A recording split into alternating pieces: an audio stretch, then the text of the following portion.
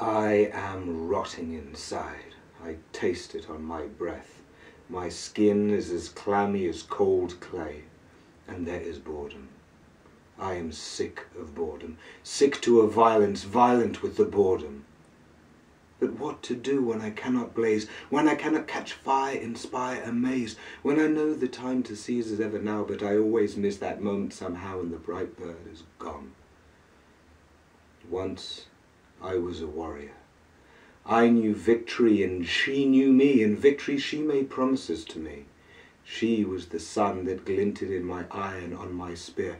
My resolution, a war chariot, thundering, driven by horses volcanic that pounded my blood. But my battle never came, and those horses slipped away. They thinned to shadows and slipped away leaving me to drag my own heavy wheels through dust clouds like forgetful dream.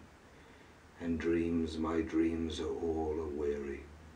My actors are drawn thin as ghosts, hanging in the gallows air along the waysides of morning's ashen road.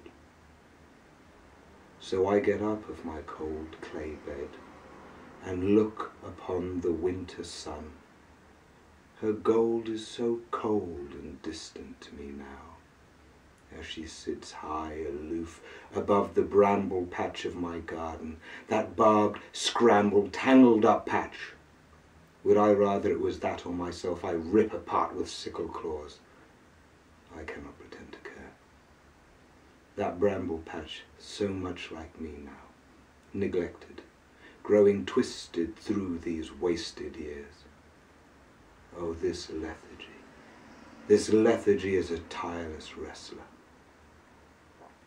But I'll still fight.